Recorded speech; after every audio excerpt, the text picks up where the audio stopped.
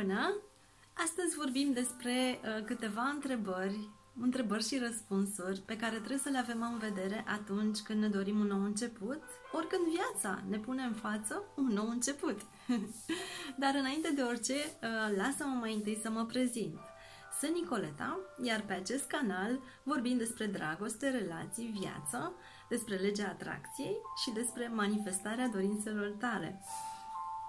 Acum, să revenim la subiectul de astăzi. Un nou început um, poate să se um, să vină în viața ta în ceea ce privește o relație, un job, o afacere sau o anumită situație, da? Întrebarea numărul 1. Ai încheiat tu corect cu trecutul? Atunci când este vorba de o relație, ai încheiat acea relație uh, cu sufletul împăcat, Adică uh, ți-ai asumat partea ta de relație, um, ai iertat, te-ai iertat pe tine înainte de orice pentru tot ce a fost uh, uh, neînțeles, pentru toate greșelile, greșelile tale. Um, pe urmă l-a iertat și pe celălalt pentru că a putut, uh, a făcut atât cât a putut el în acel moment. Um, iertarea, da? iertarea ta și a celuilalt um, și înțelegerea că relația a avut loc exact așa cum trebuia să fie. Da? Dar să existe o conștiință, să înțelegi care a fost rolul acelei relații în viața ta și ce lecții au existat acolo și ce ai învățat. Da? Când este vorba despre un job, ai încheiat tu frumos cu trecutul, um, cu colegii tăi de muncă, cu șeful, um, este foarte important să ai relații um, armonioase, frumoase uh, cu toată lumea, da? Bine, totul pleacă cu armonia din tine. um, când este vorba de o afacere, de o situație anume, ai încheiat, deci ca să începi ceva nou, trebuie să închei cu trecutul și într-un uh, mod uh, armonios, adică să rămâi fără um, emoții negative, să te înțelegi pe tine, da? Și mergem la punctul următor.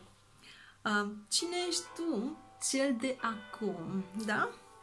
Pentru că tu nu ești doar acel angajat uh, sau acel antreprenor, uh, tu nu ești doar iubitul sau iubita respectivă, mama sau tatăl, fica sau fica, vecina sau vecinul, da?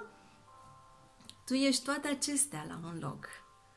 Uh, de fapt, uh, tu ești toate acestea la un loc și de fapt tu ești sinele tău superior, adică sufletul tău, da? Deci cum, cum se raportează sufletul tău, simțirea ta, trăirea ta interioară la cine ești tu cel de acum, da?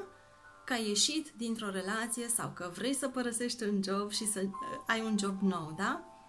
Cine ești tu cel de acum? Nu te raportezi la trecut, la cine ai fost, la ce ai făcut bine în trecut sau la ce ai făcut mai puțin bine, mai puțin corect în trecut, da? Pentru că tu acum ești un nou tu. Mergem la punctul următor, numărul 3. Ce-ți dorești cu adevărat? Atunci când știi cine ești, te vezi cât de minunat, cât de mare, cât de măreț ești. Uh, unlimited. Atunci înțelegi și ce-ți dorești tu cu adevărat. De exemplu, îți dorești ceva așa la întâmplare, la plăsneală, primul venit, primul servit, sau îți dorești ceva cu profunzime, ceva care să dureze. Hm? Când este vorba de o relație, um, vrei doar așa ca să fii cu cineva sau vrei ceva real? Este foarte important să știi ce vrei. Nu lași la întâmplare. Când este vorba de un job, la fel. Um...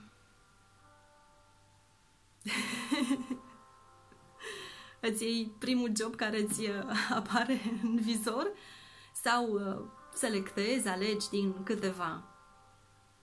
Da? Sau de o anumită situație care vine către tine. Uh, poți să accepti sau poți să refuzi. Tu ai în control viața ta ceea ce se întâmplă în viața ta. Um, iar la următorul punct este vorba de motivația corectă, care are legătură cu punctul numărul 3, da? Deci, uh, din ce? Care e motivul pentru care vrei să intri într-o anumită relație? Este motivul corect? Adică consider că este persoana potrivită? Aveți multe în comun? Um, există sentimente reale? Um, sau doar așa vrei să fii cu cineva ca să-ți acopere golurile? Uh, golul interior, eventual, uh, singurătatea. Deci vrei să ai pe cineva acolo ca să să facă ce nu poți să-ți, of- să-ți ofere, ce nu-ți oferi tu. E vorba de, de atenție. Uh-huh. Unii oameni aleg să fie cu cineva doar că celălalt le oferă atenție, da? Uh-huh. Ori um, ca să fie cu cineva, așa, ca să-i vadă lumea, că sunt și în rândul lumii, într-o relație, da? deci, uh, care este motivația corectă? Este ceva real, autentic? Există o trăire în sufletul tău față de persoana cu care vrei să fii? Ok. Când, vorba este, când este vorba despre un job, este aceeași întrebare. Care este motivația reală pentru care îți dorești acel job? Sau pentru care poți să accepti acel job?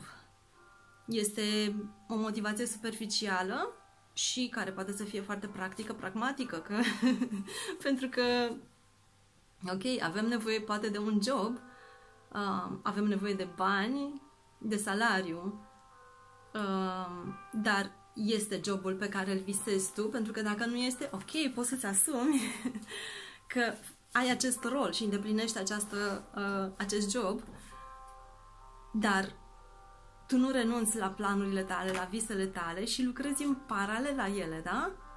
Adică poți să continui pe mai multe planuri, da? Chiar dacă nu este jobul visat de tine, atâta timp cât tu îți dai voie să mergi în paralel și cu visul tău, cu planurile tale de viitor, îți vei îndeplini și sarcinile la serviciu într-o stare de bine, de pace, de bucurie.